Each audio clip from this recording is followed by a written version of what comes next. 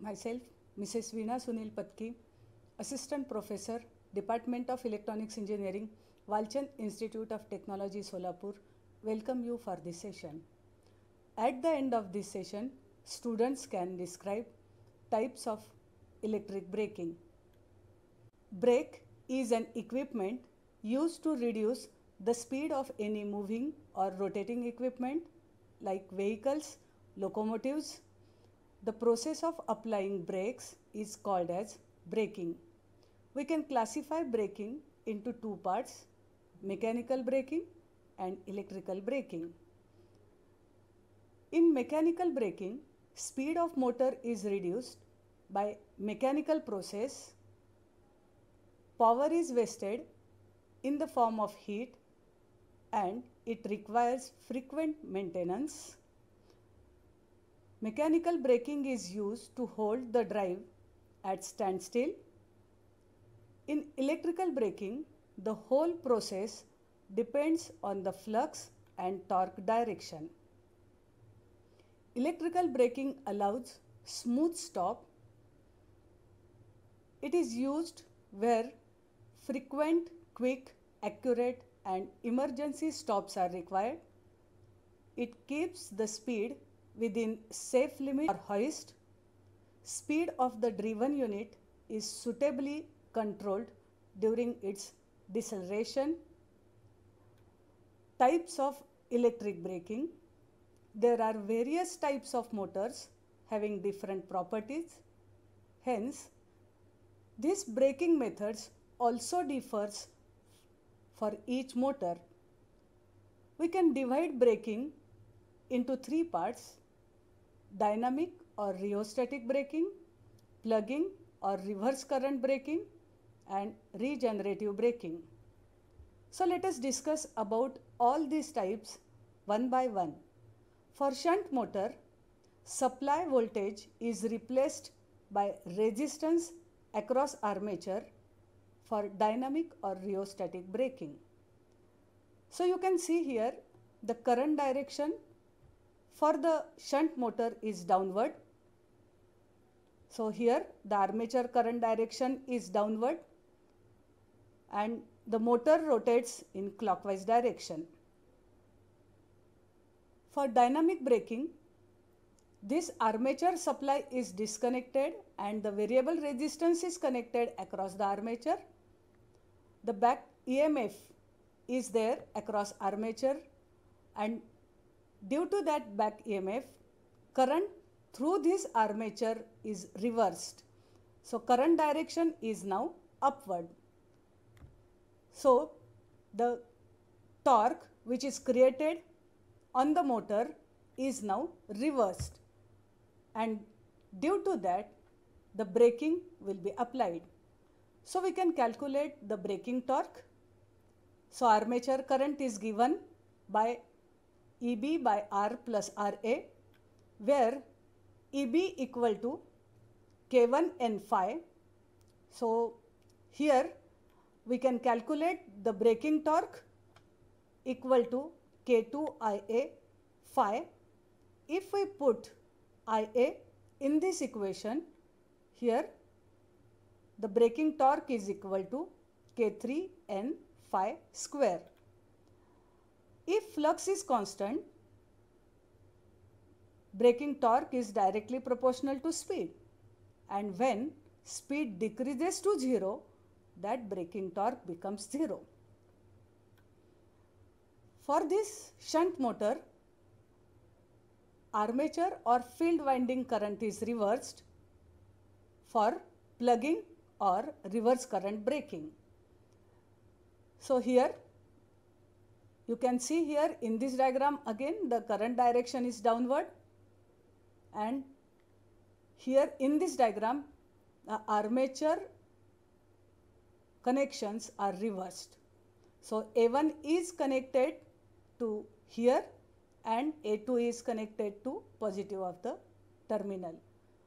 So current direction will be reversed that is upward in this diagram you can see. So here the torque which is created due to this connection will be reversed and that will create the brake on the motor that will reduce the speed of the motor. But here due to this connection the back EMF and the supply voltage both are in series. So we can calculate the armature current equal to V plus EB divided by R plus RA. So braking torque is given by K2 IA phi. So IA is equal to V by RA, R plus RA plus K1 N phi by R plus RA. If we put this IA in this equation, so we'll get the equation like this and if we find out that in braking torque that braking torque equal to K3 plus K4 N phi square. So if flux is constant and when speed decreases to 0 braking torque equal to K3 means some braking torque is there at standstill position. So here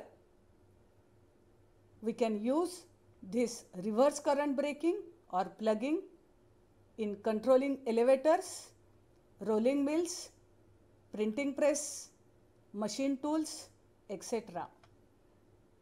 But in this method, motor tries to accelerate in other direction after coming to rest. So, some auxiliary device is required to cut off the supply as soon as the motor comes to rest. In case of failure of supply, this method is ineffective. So regenerative braking, motor run at a speed higher than no load speed with a constant excitation. Due to this, back EMF becomes greater than supply voltage and machine acts as a generator.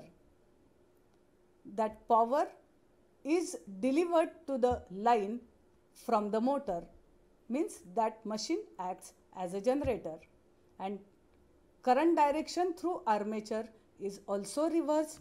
The same effect can be obtained by if we increase the shunt current or the field current which increases the flux in the motor and the speed decreases because the speed is inversely proportional to flux. So for shunt motor, if back EMF is greater than supply voltage, armature current reverses. So the direction of torque reverses and speed falls until back EMF becomes equal to supply voltage.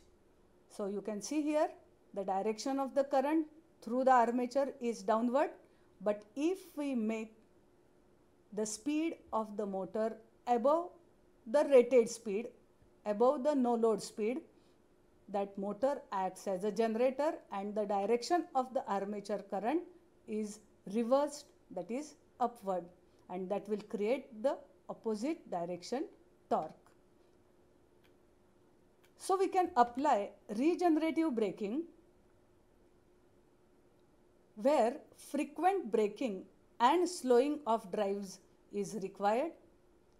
It is useful in holding a descending load of high potential energy at a constant speed it is also used to control the speed of motors driving loads such as in electric locomotives, elevators, cranes and hoist. But this method cannot be used for stopping the motor but used for controlling the speed above the no load speed. Now pause the video and think about this question so polarity of supply voltage is reversed in which type of braking? Regenerative braking, dynamic braking, plugging, none of these. So what is the answer? Plugging. Now let us discuss about the dynamic or rheostatic braking for series motor. So here in this series motor, the current direction is up downward and if we disconnect the supply voltage and if we connect the resistance but here we have to reverse connections of the armature winding or field winding for this rheostatic braking or dynamic braking so that we can make the direction of the current through this series motor opposite and the torque which is created on the motor will be reversed. So here the A1 is connected to negative and A2 is connected to the positive through this variable resistance so that the opposite torque is created on the motor and motor tries to stop. So plugging or reverse current braking for this series motor. So current direction is downward. You can see here for the plugging series motor this armature the connections is reversed and one resistance is connected in series with the armature. So the opposite torque is created and the braking will be applied.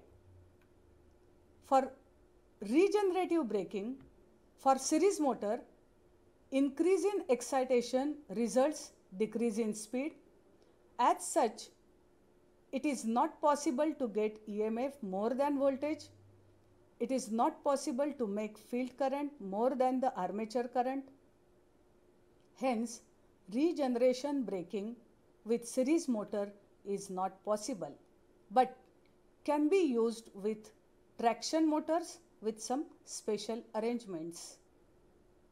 So you can refer the books Electrical Engineering by B.L. Theraja, Principles of Electrical Machines by V.K. Mehta and Rohit Mehta. Thank you.